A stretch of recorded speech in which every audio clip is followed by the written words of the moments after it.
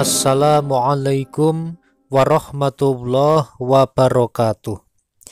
Alhamdulillahi rabbil alamin.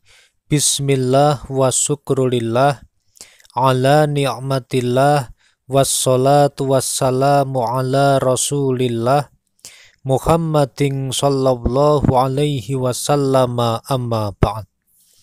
Sahabat taman surga yang dimuliakan oleh Allah Subhanahu wa taala. Bertemu kembali dengan saya Ali Akbar Nafis, pengasuh dari majelis channel YouTube Taman Surga. Mari kita awali pertemuan kita dengan mengucapkan kalimat tahmid bersama-sama. Alhamdulillahirabbil alamin. Selanjutnya mari kita bersolawat bersama-sama. Allahumma salli ala sayyidina Muhammad wa ala ali sayyidina Muhammad.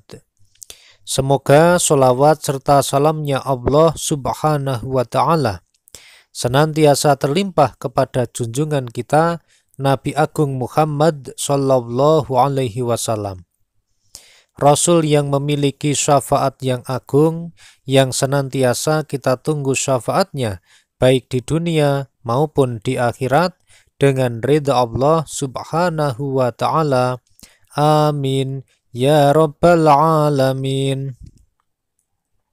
Sahabat taman surga yang dimuliakan Allah, pada kesempatan yang berbahagia ini kami ingin mengajak kepada sahabat untuk membaca ini pada besok hari Jumat. Insya Allah bisa menjadi wasilah doa, dikir, dan solawat agar pintu rizki terbuka lebar, pertolongan selalu datang, dan masalah kita menjadi cepat selesai. Sahabat yang dimuliakan Allah, di dalam hadis disebutkan bahwa Nabi Muhammad Shallallahu Alaihi Wasallam bersabda, Hari terbaik saat matahari terbit adalah hari Jumat, sebab pada hari itulah Nabi Adam alaihissalam diciptakan. Pada hari itu beliau dimasukkan ke dalam surga. Pada hari itu beliau diturunkan ke bumi. Pada hari itu beliau diterima tobatnya. Pada hari itu beliau meninggal. Pada hari itu terjadinya kiamat.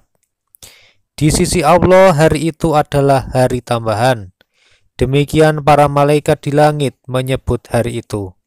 Terakhir, hari Jumat adalah hari menatap Allah Subhanahu wa taala di surga.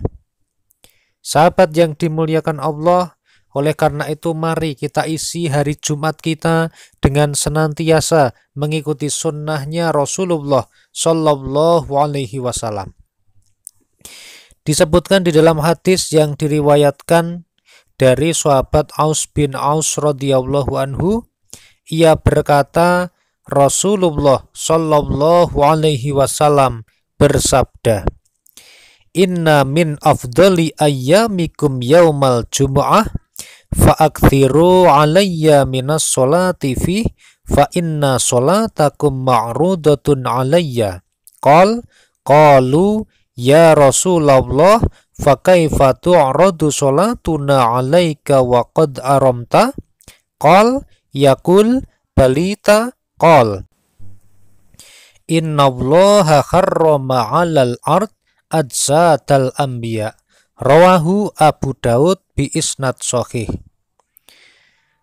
Dari sahabat Aus bin Aus radhiyallahu anhu ia berkata Rasulullah shallallahu alaihi wasallam bersabda Sesungguhnya di antara hari-harimu yang paling utama ialah hari Jumat. Maka perbanyaklah membaca solawat kepadaku pada hari tersebut. Sebab sesungguhnya bacaan solawatmu itu dihadapkan kepadaku. Para sahabat berkata, Wahai Rasulullah, bagaimanakah solawat kami dihadapkan kepadamu? Sedangkan jasadmu telah hancur, beliau bersabda, Sesungguhnya Allah telah mengharamkan tanah untuk memakan jasad para nabi. Hadis riwayat Abu Dawud dengan sanat yang sohih. Sahabat yang dimuliakan Allah, mari kita isi hari Jumat kita ini dengan senantiasa memperbanyak membaca solawat. Yang biasanya membacanya solawat 100 kali, besok lebihkan dari 100.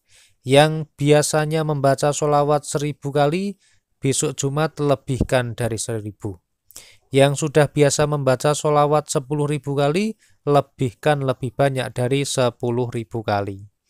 Insya Allah biidnillah kita akan senantiasa dirahmati Allah, senantiasa mendapatkan syafaatnya Rasulullah Sallallahu Alaihi Wasallam. Diriwayatkan dari sahabat Abdullah bin Amr bin Al-As radhiyallahu anhu bahwa ia mendengar baginda Rasulullah Sallallahu Alaihi Wasallam bersabda, Man sholla alayya solatan sallallahu alaihi biha asroh. Barang siapa membaca solawat kepadaku sebanyak satu kali, maka dengannya Allah akan memberikan rahmat kepadanya sepuluh kali. Hadis riwayat Imam Muslim. Mari sahabat, perbanyak membaca solawat, perbanyak membaca solawat, dan perbanyak membaca solawat pada hari Jumat. Karena sesungguhnya orang-orang yang memperbanyak solawat